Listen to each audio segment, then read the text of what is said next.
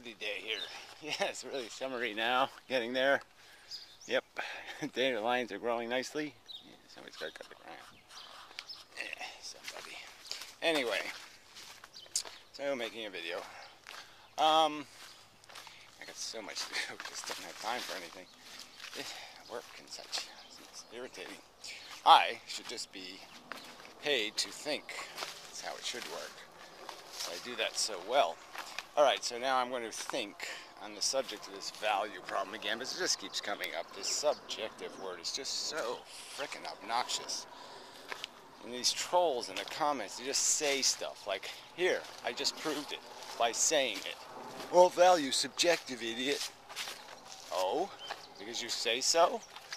I mean, uh, I mean, to understand that, let's say there's this idea of value and that I value would be recognized. It'd be something you'd say, okay, that's the job. We recognize it. Now, we can also project it in that I can make something valuable. So I was just thinking of an example. I used to value being the first person to jump in the pool. Okay, yeah, I'd say, wow, that has some value. Yeah, I'm the first, the bravest, as I went to the coldest water, blah, blah, blah. And I value doing that. I don't value that anymore. yeah, I don't know why. I guess I just grew up a little. And uh, maybe I figured, oh, it, the, one of the kids will like doing that, so, so I'll give them the trophy instead of taking it. No point in me winning every year. So that was a projected value. It doesn't, it's not a real thing of value. It doesn't, there's nothing, I'm entirely manufacturing the problem or the solution. This, it's, it's, it's, essentially that's probably a good way to put it. Whatever problem there was, like somebody has to be first in the pool, was just an invention. that is a silly notion that it matters who's the first in the pool. So it's all a projected problem. That's why it has no real value. We didn't, uh, you know, rationally come to the conclusion that there's some real stake difference, real difference difference, real meaningful difference between a world where nobody knows who was first and a world where somebody knows who was first. There's no real difference. It's inconsequential nonsense. Um, so that's projected value, where people get good feelings or bad feelings based on some competition that produces nothing. Now with the idea of consciousness and sensation, this is where they really mess it up. Is they, won't, they don't even concede that negative sensations are by definition negative. That they have negative value by definition. You can't have a negative, unpleasant, revolting sensation and then say it's value neutral. That would be oxymoronic? No, that would be idiot moronic. That would be double moronic. That'd be moronic times speed of light squared. I mean, you, you just can't do that. You can't sit there and, and try with some verbiage or language to undo the concept of negative. To say that the feeling doesn't, by its very character, reek of negativeness would be denying a truth. That's a realized truth. It's a recognized truth. Negative, revolting, obnoxious sensations are a bad thing, a negative thing, a degrading thing, a value negative thing to experience. Um, that's just a truth. It's not subjective truth. I don't care what's causing your feeling. That may be value subjective. That may be mush or gibberish or gobbledygook. Maybe somebody is bothered by the term gobbledygook. Maybe it, you know, resonates and vibrates in their brain in some way. There's lots of phrases people use every day. Twitter, you know, that creep my brain the fuck out. Uh, and uh, yeah, that's a subjective interpretation, meaning it's completely my personal problem. It's not a universal problem. The problem of negative sensation, of re revulsion, of, of uh, misery, torment, agony. The problem of agony is a problem universal to sentient organisms. It's not a subjective manifestation. It's manifested in anything sentient. That's the definition of it. That's what it does. That's what distinguishes it from things that aren't sentient. Sentient. yeah, that's it. That's what distinguishes it. Um, and so you might as well just say consciousness doesn't exist, which is, in my opinion, from personal experience, would be a ludicrous thing to do. I don't know how I could possibly negate the existence of something so, you know, fundamentally, uh, just look, look at it. It's, look, look at it. It's happening right here. How can you not say it's happening? It's an event, consciousness, and it's an event that happens in the universe. An accurate description would be to acknowledge its fundamental character, built into it by nature. It's not accidental. The bad feelings are bad or negative or repulsive are um, worthy of declaration as get away, horrible, bad.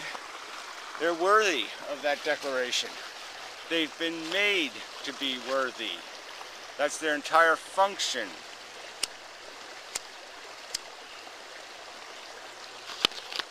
And to say they're not a real problem because it's a mental uh, event, again, it's just, you might as well just erase consciousness as a function. And I just don't see how that's reasonably possible when you've experienced one. How, how can I reasonably negate a magnetism I've, I've felt? A, a force I have felt. I have felt the force difference between uh, uh, relief and comfort and torture, agony, and suffering. I know the difference between those. And for me to deny that there's a difference, I just don't know why somebody would do that. I mean, I know why. I mean, because they want to cheat philosophy. They want to cheat the truth so they can justify being selfish cunts. But beyond justifying being selfish cunts, what, what rational reason could there possibly be to attempt to eviscerate or eliminate the existence of the very nature of our consciousness, the very nature of its existence. Like I said, it's existed for 500 million years. Organisms have been saying, ouch, and they've been saying ouch for a reason. Because that's what nature wants them to feel. They want them to react as if this was a bad thing, not a good thing, a negative thing. And this is the way negative in the world, when it's recognized, is converted into this feeling. The negative doesn't exist out there. This is true. The negative exists in our feelings. But our feelings are real. They're an event in the universe. Sorry, I shouldn't have done this next to the stream. I had to do something. Oh, yeah, I had to light the cigarette, sorry. Wasn't even that much left. My bad. So anyway, I should go for a run. Oh, I'm tired and it's hot. But I'm old and I gotta keep what I got left. Keep what, keep, yeah, whatever. You know what I mean. Ah, it's nice here in the shade. So anyway, um, so yeah, I don't know. I guess it's a being able to translate words into something meaningful. But I would think just the idea of anguish, uh, misery, suffering, torture, that that would be enough. That people would know that, yeah, we know those things are things that happen. And we know there's just no way to confuse them as benign, as in as if it doesn't matter, as if that's just as good as uh, some neutral state. That's impossible. You just can't say it's just as good as. It's not rational. It's not fucking rational. But these word games, it really is disgusting. I mean, like I said, I've said it before, but man, did I ever not realize how dumb people are. I, I mean, I really didn't think this was at all an issue for anyone ever to even have to. I never had to have the discussion with anyone in my entire life over whether or not feelings re really were important. Whether or not it really mattered whether my sister was in terrible pain or not. I, I never even, even, never, until I got on the fucking weirdo creepo net, did I ever have a conversation with anyone over the reality of sensation. So I guess that should tell me something that I'm not really talking to humans. I mean, you know, in the generic sense. These are exceptionally fucked-hearted trolls, and that's all they are. These Nietzscheites have got to go down. They're just a disgusting aberration. They're misrepresenting. Human beings are assholes, but they're not as big an asshole as these Nietzscheites. Nietzscheites. I like that. Nietzscheites. Nietzsche idiots. Nietzsche idiots. That's what you are, fuckhead. Yeah, well, I can only wish you the most horrible, slowest death possible because it's, to, in your opinion, that's a neutral outcome. so I hope you get the worst, the most horrible death possible because um, from your own perspective, it's a neutral outcome. And from my perspective, it's sure what you fucking deserve. You fucking shit talking butt fuck. I mean, I mean, come on. I, I just can't believe people be this fucking stupid. Oh, it doesn't matter. Torture, uh, blowjob, torture, blow, no, no difference. Fuck you. Yeah, add on. I think. Yeah. Um, okay, so I was thinking of an example. So let's say that cupcakes made me sick. So I would say, from my perspective, cupcakes are sickening. Now obviously that would just be a subjective opinion based on the fact that I don't agree with cupcakes and vice versa. But as a general rule, cupcakes would be said to be not sickening because for most people, they don't create sickness. Now, sickening is a state of being okay? And when it's caused and you are sickened, that is a bad thing, generically. Um, certainly you can find deviants who might say, I like being sick, or having sickening feelings. It seems almost impossible because then they wouldn't be sickening feelings. Just like pain isn't pain if you enjoy it. It's not the definition of pain. it's not the definition of agony is something I enjoy. That wouldn't make any sense. So, you know, one is uh, an interpretation made by your body, where your body reacts and creates sensation. The other is the definition of the sensation. So again, the cause is not the effect.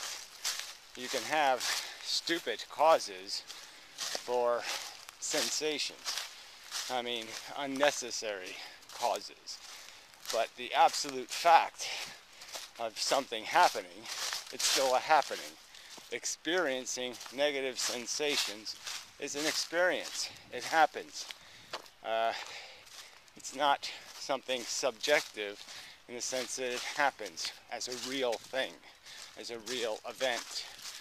So the event of experience is different than the thing that causes the event of experience. So I think to say that experiences are subjective would be wrong. What is subjective is your interpretation of the events that cause experiences. That is subjective often. But some of them can be qualified or classified as objective for the sake of rational argument, like nail in the eye.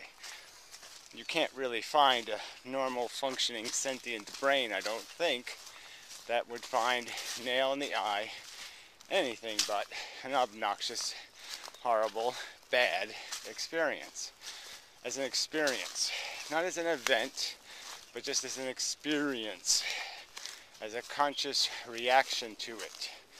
Uh, maybe it's therapeutic, maybe it's a lot of things, but it wouldn't matter. The point is the actual experiencing of the sensations that will be caused by having a nail in your eye will be bad, almost for the sake of argument, universally. Again, not a subjective thing, not an individual, not subject to individual interpretation. It is plainly a fact. Revolting sensations are bad in and of themselves by definition, by rational definition. It's perfectly reasonable to have words to describe the substantial negative nature of bad sensations. These are accurate statements, not subjective mush. But like I said, this isn't a conversation for real people. It's a conversation for lunatics. Yet that apparently just the internet is just covered with them. Misogynist lunatics. Really is a pitiful. yeah, really is a sad state of the world when you think the information superhighway is dominated by complete imbeciles. Quite frightening. Anyway, I'm quite fatigued. yeah, uphill. Uh, uh, way uphill. Uh, doing work against gravity. Eh. So, enough of that. Back to my chores. And such. Lovely day though. Lovely, lovely, lovely, lovely. Just lovely. Ah, so mowed the grass anyway. Um, figured I'd take a little break. Um, anyway, I just I just clicked this, you know, I checked to see if possibly made a video. Big mistake. So he made some stupid video, uh, and then um, has no answers or something. It's just such a pile of crap. Well, anyway, and I just I saw a Logic Rolls the Dice comment where he said he's done this before, and then when we talk about it, you know, he undoes it, and then he does it, and then he undoes it, which is I find so obnoxious. The inconsistency people are demonstrating is just outrageous. you know, and when it comes to a philosophy where you're going to say something like, "Yes, I know it in my heart," um, and yes, I would press a red button. So, so he said he left a comment something to that stupid Vic Mackey cunt. Um, there's just all the rag commenters, and you know I'm just too busy right now to get to it. so I'm just not, you know, I have to get the Vlogodome thing done. Physics, you know, more complex. Anyway, um, so so he leaves a comment. I still concede the is ought gap. By the way, and I'm just my brain just rolls over and it says, well then why are you doing philosophy on the internet? Why don't you just masturbate? Why don't you why don't you tell us your favorite bedtime stories? Why don't you waste our time in some other way? And why bother doing philosophy at all? If you believe there's an is-ought gap, what is the fucking point of doing goddamn philosophy? If it means absolutely nothing, if you're conceding there is no truth you're seeking or discovering, that there is no should that's logical and rational based on the facts that exist, how the fuck can you do philosophy? I mean, in any kind of rational way. How can you not be just a preposterous hypocrite just saying, I smell so fantastic, and all of my subjective impulses and my subjective little little feelings I have are all correct. I like the color blue. Blue is the best color because I subjectively say so. And on all these other subjective subjects like suffering and misery and pain, I will subjectively tell you what they subjectively mean to me, and that's the fucking truth. And you're going to call that fucking philosophy. I mean, either you're going to talk about what you think the fucking truth is, or you should shut the fuck up. And you can't think there's a fucking truth if you think there's no facts pointing to it. And the truth is about oughts. So if you can't understand any ought truth, if you can't believe it exists, then you can't possibly talk about the facts that indicate it, can you? I guess not, retard. I mean, I don't even know how you could fucking, you know, you, you have this pretense that you know it all because you read some fucking books and you can't even figure out the ABCs of fucking fundamental logic, which are you can't be fucking telling somebody, I am telling you my subjective truth. yeah, right. That's an oxymoron. You can't put subjective and truth together. That's absolute bullshit. So anyway, oh, this so cat. Very pleasant scenery there. Except there's that little twig in the in the beauty of it all. Yeah, get that out of there. There now, it's much more scenic. I have an old bench over there that I found in the, in the welfare people rubbish. Anyway, uh, what a mess. Mess, mess, mess, mess, mess. More stuff for me to do. Ah, tomato plants are almost, uh, they're getting better. yeah, they're still kind of scraggly, but it's, it's all I got this year.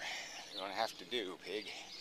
These are really, I don't know what went wrong with them, but just, maybe that cold weather or something. They were inside, but, you know, maybe it got cold inside. Uh, amaryllis, lovely. Lovely, lovely.